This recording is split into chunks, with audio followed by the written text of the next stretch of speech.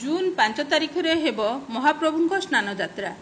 ଏହାକୁ ଦୃଷ୍ଟିରେ ରଖି ପ୍ରତ୍ନତତ୍ତ୍ୱ ସର୍ବେକ୍ଷଣ ସଂସ୍ଥା ତଥା ଏଏସ୍ଆଇ ପକ୍ଷରୁ ଆଜି ସ୍ନାନ ମଣ୍ଡପ ଯାଞ୍ଚ କରାଯାଇଛି। ଏଏସ୍ଆଇ ସୁପରିଟେଣ୍ଡେଣ୍ଟ ଅରୁଣ ମଲ୍ଲିକଙ୍କ ତତ୍ତ୍ୱାବଧାନରେ ଏକ ଟିମ୍ ଏହି ଯାଞ୍ଚ କରିଛି। ସ୍ନାନ ମଣ୍ଡପରେ ପଥର ପରିବର୍ତ୍ତନ କିପରି ଭାବେ ହୋଇଛି ତାହା ସଠିକ୍ ଭାବେ ହୋଇଛି କି ନାହିଁ ସେସବୁ ଯାଞ୍ଚ କରିଛି ଟିମ୍।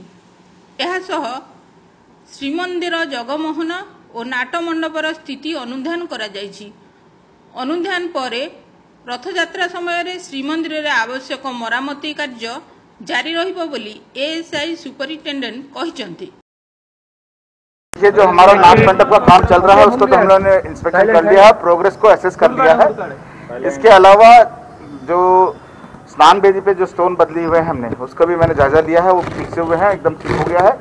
हेयर एंड देयर अभी हमारे को इंजीनियर साहब ने बताया है कि कुछ छूट गया है वो भी हम काम ले लेंगे।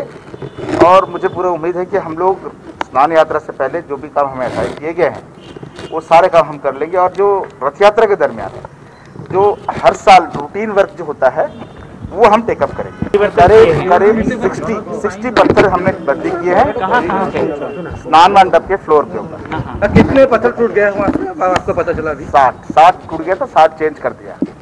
ठीक है साठ चेंज कर सिक्सटी पत्थर को हमने चेंज कर दिया है पॉइंटिंग कर दिया है। और ये सब काम खत्म हो चुका है स्थान हम लोग रथ यात्रा को तैयार है। तो नाटमंडप का काम चल रहा था विशेष करके मैं उसको प्रोग्रेस को असेस करने के लिए आया था। और वो भी ठीक ठाक चल रहा है और वो भी हमें मालूम है कि हम लोग समय से पहले खत्म गोप्रू जयंत कुमार सेठी का रिपोर्ट रिपोर्टर्स टुडे